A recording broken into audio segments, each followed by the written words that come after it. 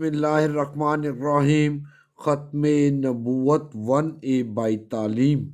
सवाल, उम्मत मुसलमा में सबसे पहला झूठा मुदई नबूत कौन है?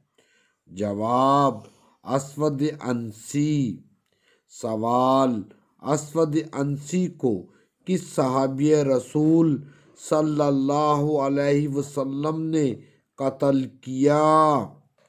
जवाब, हज़रत फ़िरोज़ दिलमी रज़ी अल्लाह तहो ने सवाल, तहरीक तहफ़ ख़त्म नबूत का सबसे पहला फातहा जर्नैल कौन है?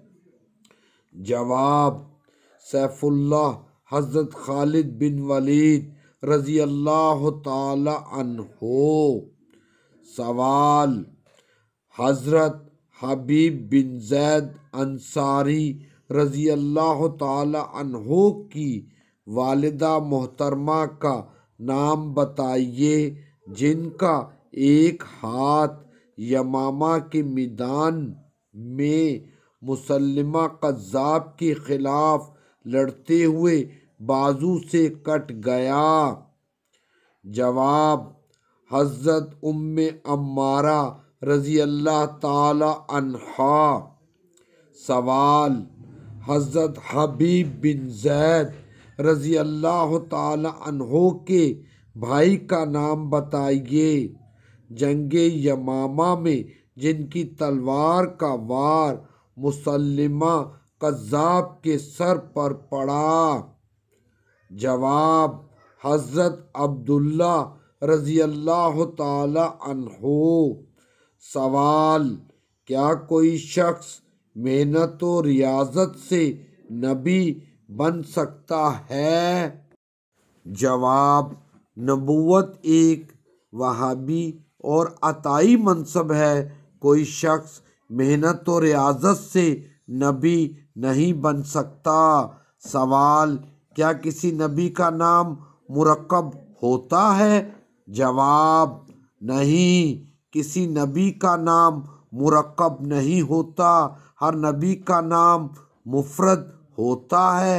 मसलन, आदम सलाम नू सलाम हारून सलाम मूसा सलाम ईसा सलाम लेकिन झूठे नबी मिर्ज़ा कादियानी का नाम मुरकब है।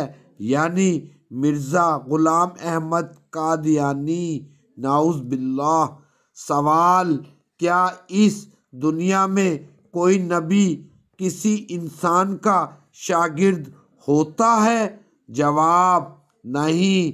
नबी की तालीम व तरबियत का ज़िम्मा अल्लाह ताला खुद उठाता है। सवाल, क्या कोई नबी वरासत छोड़ता है?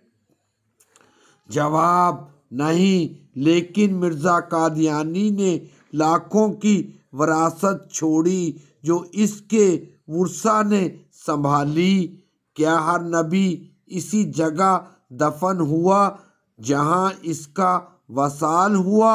जवाब, जी हाँ हर सच्चा नबी वहीं दफन हुआ जहाँ इसका वसाल हुआ। लेकिन झूठा नबी मिर्ज़ा कादियानी ब्रांथड रोड, लाहौर की लैट्रीन में मरा और कादियान में दफन हुआ। बहवाला शूर ख़त्म नबूत और कादियानियत, सफ़ा नंबर टू थ्री, पंद्रह एक इक्कीस, अल्लाह अकबर।